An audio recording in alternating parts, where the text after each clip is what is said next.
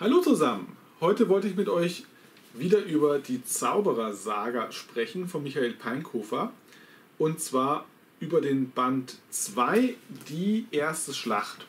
Hat so ungefähr 450 Seiten und ist der zweite Teil der Die Zauberer-Trilogie von Michael Peinkofer, die ich, äh, von der ich euch den ersten Teil ja schon vorgestellt habe. Hier im zweiten Teil wird die Geschichte des Großen Krieges weitergesponnen, die ja viele, viele Jahre vor den Ork-Bänden spielt, auch von Michael Peinkofer. Auch hier im zweiten Band geht es um die Gemeinschaft der Zauberer, die ähm, vor allem aus Elfen bestehen, außer einem einzigen, einen, ähm, einem Menschen, dem es erlaubt worden ist, auch Zauberer zu werden, Granok. Und zusammen mit seinen beiden Gefährten Alana und äh, Aldur ähm, werden sie auf eine gefährliche Reise geschickt. Sie sind im Moment immer noch nur Eingeweihte, nur Eingeweihte, das heißt also, sie haben schon die Grundausbildung zum Zauberer hinter sich gebracht, sind jetzt also Eingeweihte, aber sind noch keine Meister geworden. Das heißt also, hier in dem Band ähm, spürt man noch, dass äh, ähm, Granok, Aldo und Alana noch nicht in alles ähm, eingeweiht werden, was die wichtigen Meister so zu besprechen haben, dass sie auch noch nicht dieselben Rechte haben. Und äh, es ist ganz interessant äh, zu beobachten, wie sich diese Charaktere entwickeln. Das heißt also am Anfang, im ersten Band waren sie ja noch Lehrlinge, jetzt sind sie schon ähm, eingeweiht. Das heißt also, sie haben sehr viel mehr zu sagen, ähm, treffen wichtigere Entscheidungen und werden auch ähm, für voller genommen. Das heißt also, ihnen werden auch wichtige Aufgaben übertragen. Ähm, in dem Buch ähm, wird größtenteils äh, die Expedition beschrieben, die Alana, Aldur und Kranok ähm, in den Süden machen, um herauszufinden, ähm, ob die Gerüchte wahr sind, ob Ma äh, Magog wirklich ähm, überlebt hat, noch lebt und was sein Diener Rurak ähm, denn macht.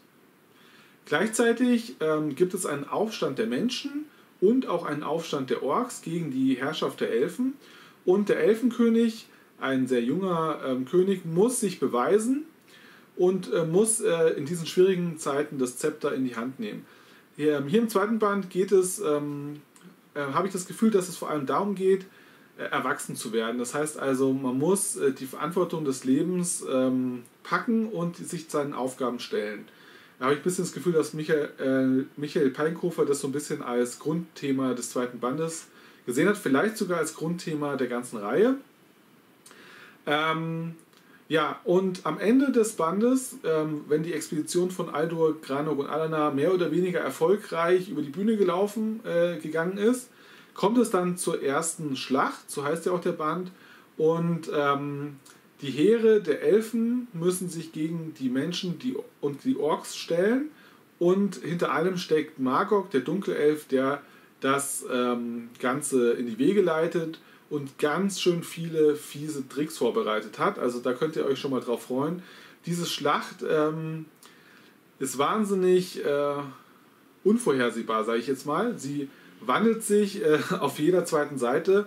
Ist wirklich super beschrieben, gerade die Schlacht am Ende, die auch ziemlich, äh, ja, also ist okay, nicht zu viel Raum einnimmt, aber doch auch äh, einen größeren Teil des Buches einnimmt. Ist wirklich super beschrieben aus verschiedenen Perspektiven und äh, es ist, wie gesagt, sehr unvorhersehbar und sie wandelt sich ständig. Und auch am Ende von Band 2 ist eigentlich nicht klar, ob Markok jetzt wirklich besiegt ist oder was denn nun mit dem Dunkelelf geschieht oder geschehen ist, genauso wie es auch bei Band 1 ist. Wir können also gespannt sein auf Band 3, also ich bin gespannt auf Band 3, wie es denn dort weitergeht und auch wie sich die, ähm, die drei Gefährten vor allem, Granok, äh, Aldur und Alana, ähm, weiterhin schlagen werden. Sie bekommen immer mehr, mehr Aufgaben und immer mehr ähm, Vertrauen auch von ihren ähm, Zaubererkollegen. Und ob sie sich diesem Vertrauen würdig erweisen, das äh, bin ich schon gespannt. Im dritten Buch, das auch wieder ein bisschen dicker ist. Das zweite Buch ist an sich das dünnste von den drei Büchern. Vielleicht noch ein bisschen was zu den Charakteren. Ähm, Aldo, Alana und Granok bekommen jetzt hier in Band 2 eine ähm, größere Schärfe. Das heißt also, ihre Charaktere werden mehr herausgearbeitet und es stellt sich auch so ein bisschen heraus, dass nicht alles Freude und eitel Sonnenschein ist zwischen den dreien. Es äh, kristallisieren sich so ein paar Konflikte heraus. Aldur hat sich nämlich in Alana verliebt und Alana scheinbar auch in Aldur. Granok aber ist auch in Alana verliebt. Ähm, weiß aber auch nicht, am Anfang zumindest, dass sie mit äh, Aldo verbündet, ver, ver, verbündet ist oder dass die sich schon mehr oder weniger den Treueschwur geleistet haben. Also solche Sachen, solche Konflikte baut jetzt Michael Pankofer hier vermehrt ein in diesem Band.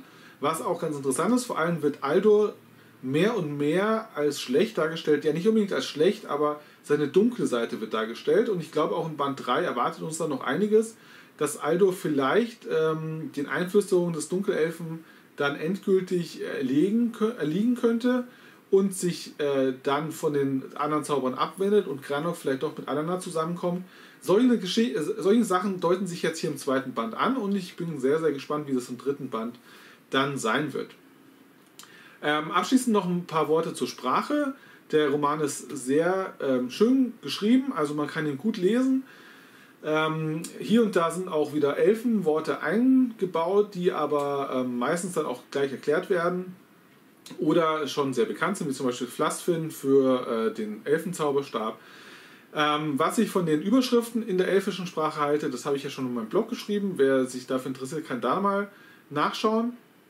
An sich eine tolle Geschichte, dass Michael Peinkofer die komplette Elfensprache mehr oder weniger konstruiert hat. Aber ähm, man darf da natürlich nicht übers Ziel hinausschießen. Wie gesagt, bei mir im Blogbeitrag gibt es dazu mehr. Was mir aufgefallen ist, ist gerade in der Mitte des Buches äh, offensichtlich beim Lektorat so ein bisschen äh, geschlampt worden ist. Da sind einige Passagen, wo Wortwiederholungen drin vorkommen und auch Formulierungen nicht so ganz sauber sind. Ähm, da hätte man vielleicht noch ein bisschen genauer hinschauen können. Alles äh, an sich aber ist die Sprache wirklich äh, schön und auch sehr, sehr lesenswertes Buch. Ja, ähm, das war es auch schon zu Band 2. Wenn ich Band 3 gelesen habe, werde ich auch dazu ein Video machen und euch davon berichten. Ich wünsche euch immer genug Musse zum Lesen. Euer Dominik Schmeller.